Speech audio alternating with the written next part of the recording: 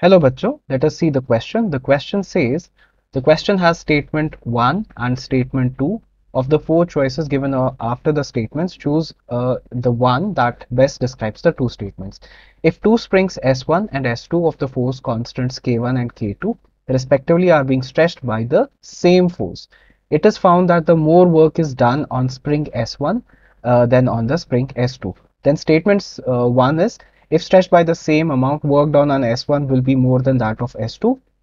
And statement 2 is that K1 will be less than K2. Now let us see the key concept. तो हमारे पास work done जो होता है that is equal to work done on the spring that is half of kx square and the force which has been applied onto the spring is given by k into x. Then we can write it down work done के लिए we can write it down as half of k square x square by k now हमें पता है f is equal to kx so which means half of f square by k हो जाएगा so इसके through we know that work done is inversely related to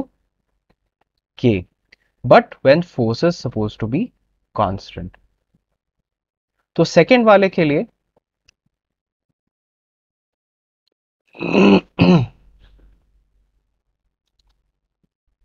and second case के लिए हमारे पास जो क्वेश्चन में दिया गया है that is displacement is constant so displacement is suppose to be constant in the cases तो उस वाले के लिए we know that W is equal to half of K into X का स्क्वायर देन हमारे पास जो है, अगर हम फ़र्स्ट के लिए कंसिडर करें work done that will be half of K one times X square and W two जो कंसिडर होगा that will be half of K two X square तो अगर हम इन दो को कंपेयर करें अगर हमें बताया गया है in the first statement that work done on first will be greater than work done on the second तो इसके अकॉर्डिंग हमारे पास K one should be greater than K two लेकिन हमें फ़र्स्ट स्टेटमेंट में पहले जो स्टेटमेंट uh, दी गई थी it says that work done on the spring S one